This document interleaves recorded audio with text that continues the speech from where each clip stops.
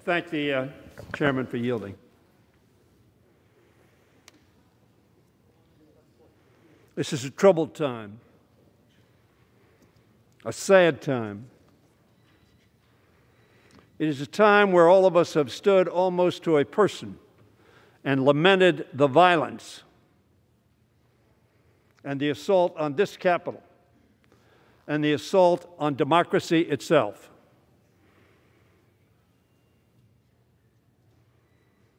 It was right to do that.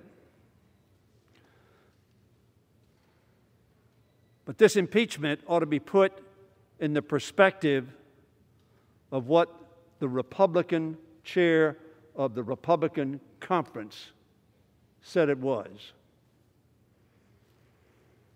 She said the President of the United States summoned the mob, assembled the mob, and lit the flame of that attack. There has never been, she said, a greater betrayal by a president of the United States of this office, of his office, and his oath to the Constitution. That is why we are here today. That is why we are here today, just a week before that president, at the request of the American people, will leave office.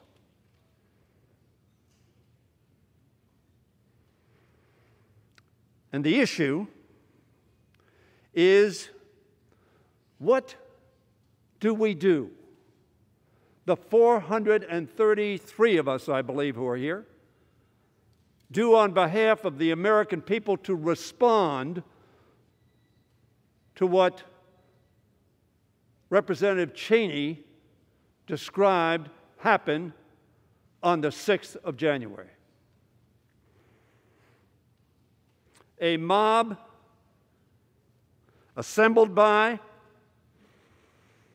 summoned by, and then spoken to to light the flame of the attack. To stop the steal. As we sat here, exercising our constitutional duty, and to his great credit, the Vice President of the United States following the Constitution of the United States of America. Notwithstanding the fact that he was opportuned by the President not to do so. That mob sent by the President to stop the steal did so for a few hours. Not the steal, but the constitutional duty that we had. And so uh, we ask ourselves, what do we do? What is our responsibility? What should we say in light of only the Civil War has an analogy? That doesn't mean there haven't been demonstrations in Washington before and demonstrations throughout this country before. But it is the first and only physical presence other than the 9 11 attack on this nation, which came from abroad and had a plane aimed at our Capitol dome. This attack was not from abroad. It was, as Liz Cheney said, summoned, assembled, and inflamed by the President of the United States of America, who in Liz Cheney said words that there has never been a greater betrayal by a President of the United States of his office and his oath to the Constitution. I pride myself as a member of this Congress who, for 40 years, has worked in a bipartisan fashion with many of your leaders, and do to this day. But are we to remain silent in the face of Liz Cheney's saying this was the greatest betrayal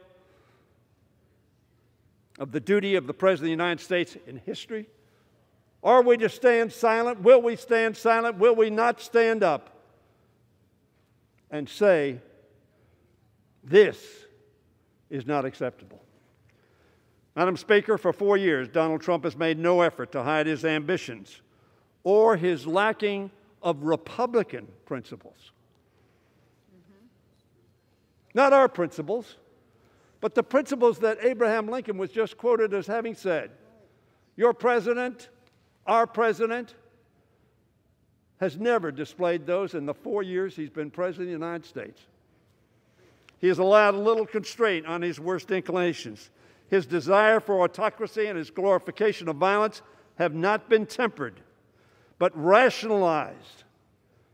Rationalized by those who sought to profit financially and politically from their proximity to power.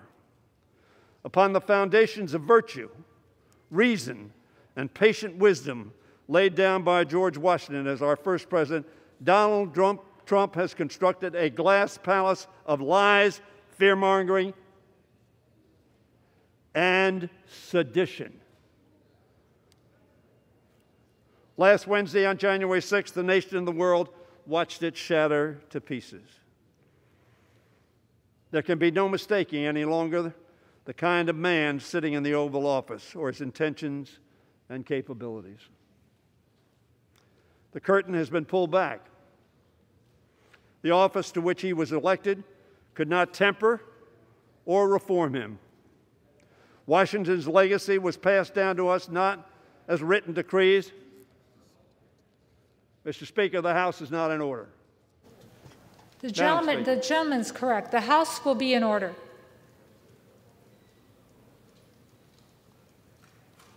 Washington's legacy was passed down to us not as written decrees, but understood norms. How we ought to act, how we ought to conduct ourselves. Term after term, each occupant has observed those norms out of a recognition that our Constitution's articles are not the only preservative of our democracy. For more than two centuries, Madam Speaker, whenever those norms were tested and strained, good and virtuous citizens on both sides of the aisle found common purpose in reaffirming those norms. But memory fades, and from time to time it must be refreshed. Madam Speaker, as the framers emerged from the Constitution Convention, Benjamin Franklin was asked whether they had made America a monarchy or a republic. Probably all of us know this response. A republic, he answered, if you can keep it. That's the question today. If we can keep it. And the way we keep it is to say no to actions and words that do not promote the keeping of that republic. For millennia, people have understood that a republic is only as stable as, and lasting as the citizens and leaders who commit themselves to its upkeep.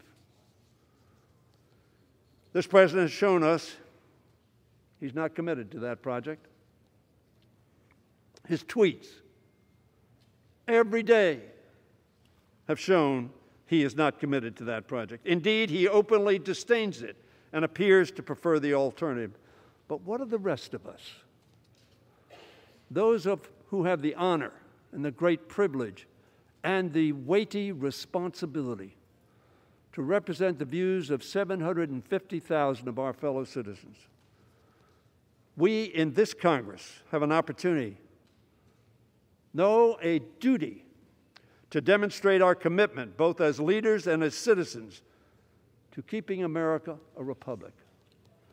A republic that resolves its differences not through being ordered to come to the Capitol to prevent them from stealing the election, which was an absurd assertion from the very first day it was made. We cannot erase the last four years, Madam Speaker. We cannot turn back the clock, but we can look to the ideals and principles inherited from great presidents like Washington, like Jefferson, and yes, certainly like Abraham Lincoln and Franklin Roosevelt, and from outstanding Americans like Frederick Douglass, Harriet Tubman, Susan Anthony, Cesar Chavez, Martin Luther King, Thurgood Marshall, our beloved John Lewis, and yes, RBG, Ruth Bader Ginsburg, who taught us a lot about equality and inclusion.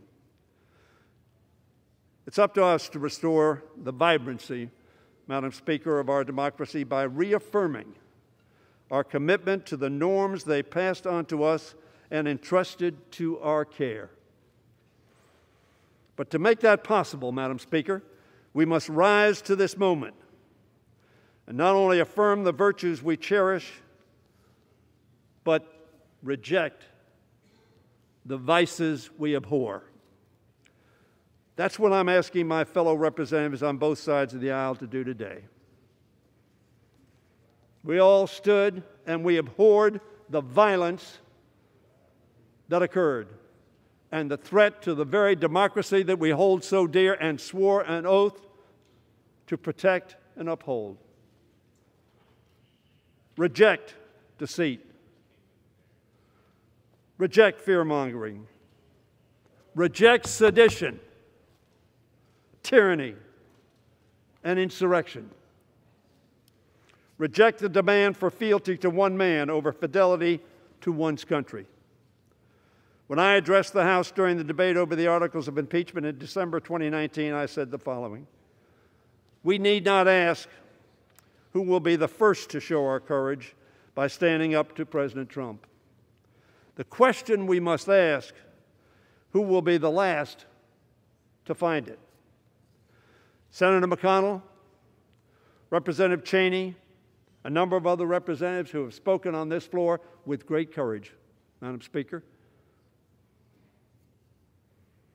because there is much fear of Donald Trump. There's much fear of Donald Trump's tweets. There's much fear of Donald Trump's retribution for opposition. In my view, Donald Trump demands absolute loyalty and gives none in return. I hope others will join Liz Cheney I hope others will be honest with themselves and with their constituents. As Liz Cheney was saying, there has never been a greater portrayal by a President of the United States of his office and his oath to the Constitution. Don't dismiss that. She's the daughter of a Vice President of the United States who was the whip when I came to Congress. As she has taken a stand, I hope others will as well, Madam Speaker. Soon, the clerk will call the roll and ask for our votes. Make no mistake, this will be no ordinary roll call. This is about our country, our Constitution, and our democracy. These votes will be inscribed on the roll of history, a record of courage and of our commitment to country and Constitution, of our commitment to the rule of law and renewal of that which we inherited and hope to pass on, unbroken, unshattered. With just seven days left in the President's term, this vote is not about timing, it is about principle and fidelity to our Constitution. It concerns the clear and present danger facing our country, not only in these final days of the Trump administration, but in the weeks, months, and years that will follow. It is about the necessity to demonstrate to this generation and to future generations the duty we share to protect our democracy every single day. Do not pretend, my friends, that it was simply those who came into the Capitol, encouraged by our president to stop the steal at any cost. And by the way, if the vice president doesn't do my bidding and follows the Constitution, sweep him away. We know that this president would never emulate George Washington and give up his power for the good of our republic, even after losing an election. Somebody talked about a peaceful trans- transition. There has not been a peaceful transition. I don't know what you're talking about. You're not living in the same country I am. It was just days ago that the president, after committing this terrible act, thought he had to admit that Joe Biden might, yes, be president of the United States. We know that this president neither recognizes norms nor reflects the rule of law. We know that this president is not a patriot. So I ask this House who among us, Madam Speaker, will be recorded on the roll of history for their courage, their commitment, the Constitution, and their country? We do this today not for politics. We don't need this for politics. Georgia showed that. There was no mistake in this election. We do this today to preserve and protect this great democracy. We do it for the America we love, our America the Beautiful, whose founders' sacrifices we praise in song. Oh, beautiful for heroes proved in liberating strife, who more than self, their country loved, and mercy more than life. Sadly, Madam Pre- Speaker, as our current president, the appropriate words would be who less than self his country loved, and victory more than truth. Vote for this, for America, for our Constitution, for democracy, for history. I yield back the balance of my time.